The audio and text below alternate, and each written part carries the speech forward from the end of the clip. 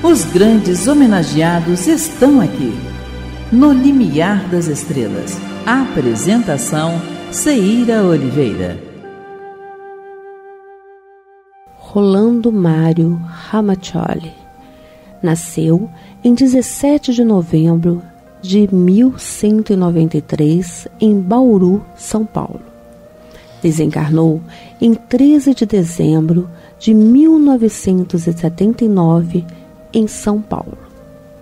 Na obra Personagens do Espiritismo, Lucena e Godoy nos contam que Rolando foi valoroso obreiro espírita, grande divulgador de livros, destacando-se sempre por sua extrema dedicação e fidelidade ao famoso médium Francisco Cândido Xavier.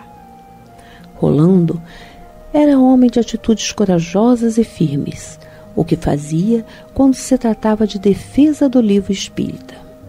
Em seu idealismo, promoveu numerosas e magníficas tardes de autógrafos. Com pouco mais de 20 anos, residindo na capital paulista, sem convicção religiosa, descrente, teve singular vivência espiritual que mudou o rumo de sua vida. Na época, trabalhava em um frigorífico e certa noite, no ano de 1935, já deitado, mas sem conseguir dormir, com a luz do quarto apagada, viu um homem de luminosidade própria entrar pela porta fechada e, acreditando ser um intruso, pulou sobre ele, mas não conseguiu agarrá-lo, como se fosse um fantasma.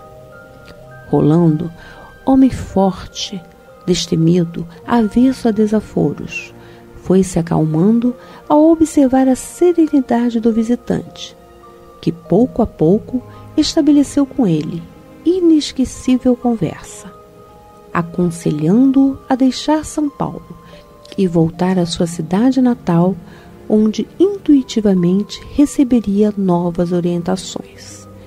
Mesmo surpreso e sem entender, ele se mudou. Em 1987, casou-se com Alda. Tiveram oito filhos. No início dos anos 40, Rolando converteu-se ao Espiritismo e já o vimos trabalhando incansavelmente na doutrina. Em 1950, fundou o orfanato Nosso Lar. Posteriormente, Nosso Lar, instituição filantrópica de amparo à criança, entidade que em 1966 transferiu-se para São Bernardo do Campo. Visava buscar a autossuficiência da instituição. Com a venda do conhecido Café Nosso Lar, produzido sob sua supervisão e que recebeu calorosa acolhida das empresas do município, servindo também como base para o aprendizado profissional das mais de 50 crianças abrigadas na entidade. Também em São Bernardo do Campo, em 1967, fundou o Grupo Espírita Emanuel, sociedade civil editora, com o propósito específico de divulgar a obra de Chico Xavier. Dedicou tempo integral a ambas as instituições.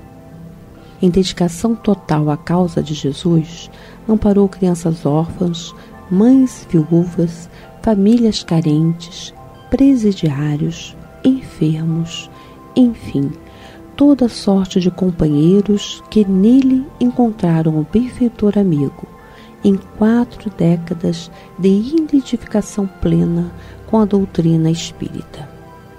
Por tudo isso, pela sua vida, Rolando Mário Ramaccioli está no limiar das estrelas. Você ouviu pela Rádio Rio de Janeiro no Limiar das Estrelas. Apresentação Ceira Oliveira.